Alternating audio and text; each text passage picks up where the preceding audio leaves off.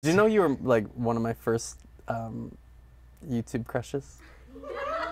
Not to be like that. I didn't But Dan that. told you, so I was like, I can tell you. I got a meet and greet picture with you once, and I was like, oh my god. As someone that waited in line? I think it was like at a like a mixer partner mixer. That's not a meet and greet. It was for me. I mean, you also were there by my side when uh, I wounded myself to the degree of having to get stitches. So you were kind of a nurturing figure in my Thank life. Thank you. You're welcome, actually. We went from meet and greet to father figure real quick. Father, how old are you?